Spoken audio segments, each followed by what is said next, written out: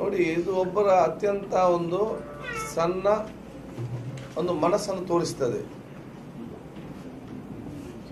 ಒಂದು ದೇವರ ಒಂದು ಪ್ರತಿಮೆ ಮಾಡಲು ಕೂಡ ಇವರು ಅಡ್ಡಪಡಿಸ್ತಾರೆ ಅಂತ ಹೇಳಿದ್ರೆ,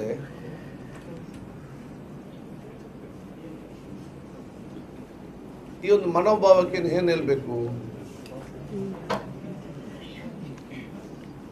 ಇವತ್ತು ಅಲ್ಲಿ ಏನ್ ಹೇಳಿದ್ದಾರೆ?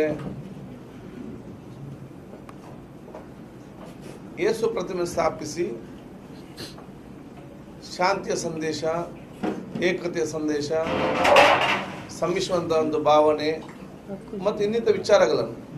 ನೀವು ನೋಡಿ ಇಡೀ ರಾಜ್ಯ, ಇಡೀ ದೇಶದಲ್ಲಿ ಕ್ರೈಸ್ತ ಸಮುದಾಯದ ಕೊಟ್ಟಂತ ಎಲ್ಲ ಆ ಜಾಗ ಇರಲಿ.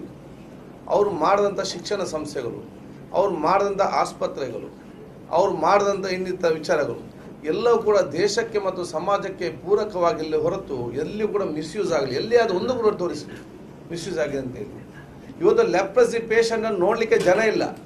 ಅಂಥ ಕುಷ್ಠರೋಗಿಗಳನ್ನು ನೋಡುವಂಥ ಆಸ್ಪತ್ರೆ ಇದ್ದಿದ್ರೆ ಅದು ಮಂಗಳೂರಿನ ಫಾದರ್ ಮುಲ್ಲಸ್ನಲ್ಲಿ ಯಾರು ಕೂಡ ದೇಶಭಕ್ತಿ ಅಂತ ಹೇಳೋರು ಏನು ಯಾರು ಕೂಡ ಒಬ್ಬ ನಿರ್ಗತಿಗನಿ ಒಬ್ಬ ಯಾರು ಕುಷ್ಠರೋಗಿ ನೋಡುವಂಥ ಮೌನ ಯಾರು ಕೂಡ ಇವತ್ತು ಹಮ್ಮಿಕೊಳ್ಳಿಲ್ಲ.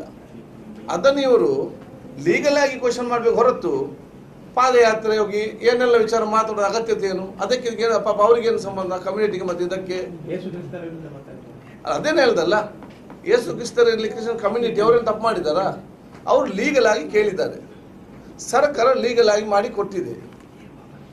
ಅದನ್ನು ಲೀಗಲ್ ಆಗಿ ಇವರು ಅಗತ್ಯ ಬಂದರೆ ಕೇಳಬೇಕು ಹೊರತು ಇವರಿಗೆ ಯಾಕೆ ಹೋಗಿ ಬೈಬೇಕು?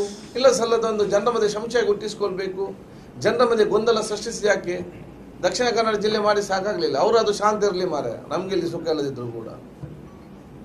ಆ ಕನಕಪುರದವರು, ಬೆಂಗಳೂರಿನಲ್ಲಿ ಅವರು ಒಂದು ಸಮಾಧಾನ ಸ್ವಲ್ಪ ಇರಲಿ. ಅಲ್ಲಿ ಹೋಗಿ ಅವ್ರನ್ನ ಹಾಲು ಮಾಡೋದು ಬೇಡ.